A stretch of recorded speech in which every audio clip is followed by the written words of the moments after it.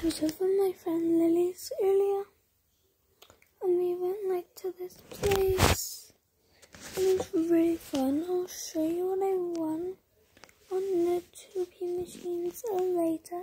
Because I'm just chilling right now because I literally like just got back like 10 minutes ago.